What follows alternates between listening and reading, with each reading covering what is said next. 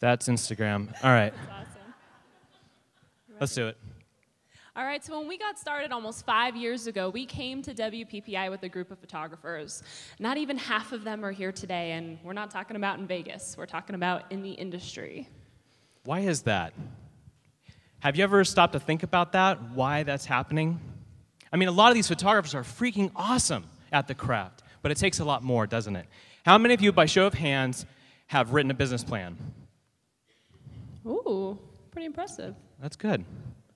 When was the time? When was the last time you actually looked at it? All right, so when we started our business, we knew we were supposed to write a business plan, but in our experience, that meant a 30 page document full of language we barely understood. like, no thank you. Exactly. So we created a business tool called the Photographer's Business Model Canvas that we have adapted from the Business Model Canvas. The Photographer's Business Model Canvas, or as we lovingly refer to it as PBMC. Is a- an amazing tool in our business, and we're here to share it with you tonight. So whether this is your first year or your 10th year in business, listen up. All right, so how is it different from a traditional business plan? It's a great question. Traditional business plan is less visual, it's a 10 to 20 page text document. It's static, it's hard to change, and it's result oriented with charts and end of day results. And on the other hand, we have the PBMC, which is more visual. It's a one page canvas. And as artists, we really dig this. It's easy to change. Experiment with this tool, and it's action oriented. What you want to do is focus on actions that you do to solve problems for your clients and how. You guys, when you identify a problem to solve and believe that you have a solution to that problem, you own that when you're talking to your clients, and people are attracted to that kind of confidence. So let's talk about how to actually use the tool. At the end, we're going to share with you a link that you can actually download the PBMC and get down and dirty with, your, with, with it yourself. Yeah, Sorry. please, Steve, don't forget the it. All right. All right, so let's break it down. The tool is divided into your hard skills on the left and your soft skills on the right.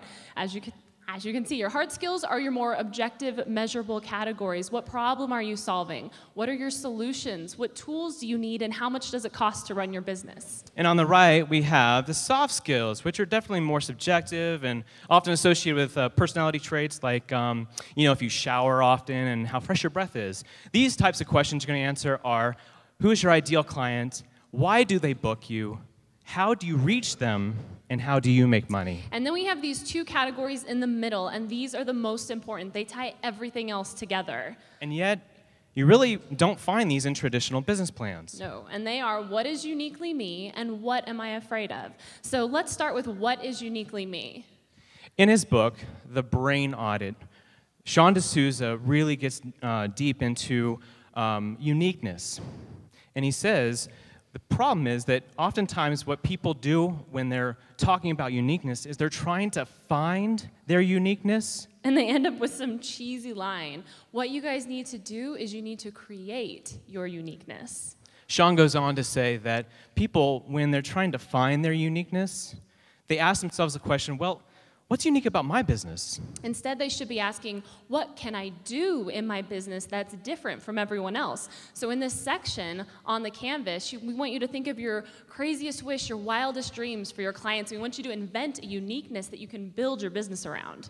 When you focus on solving problems for a very specific group of people, you do away with most objections like, um, yeah, you're too expensive. No one's ever heard that, right?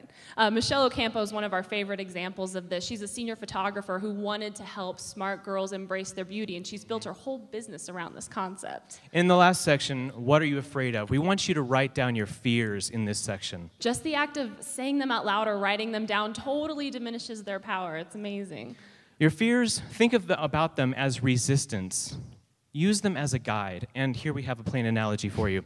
Have you ever thought about how planes actually fly? I know, don't spend a lot of time on it. They need resistance. So do you. We encourage you to use the PBMC to understand how you can create and capture value in your business. What will you do to help out uh, others, and how can you make a profit from doing so? So, everybody, whip out your cameras or your Pen phones paper. or something. Take a picture of this screen right here, talktools.com slash PBMC. Download the PBMC and start for free. Thank you. And start implementing in, uh, the PBMC into your business, we want, to, we want you to think about this as a living, breathing document that you're going to revisit and revise over time as you grow and evolve in your business. Make it like the screensaver on your computer. Hang it up next to your desk, whatever you need to do to see it every day. It is time to create the wall art that your business really needs. Thank you. Thank you.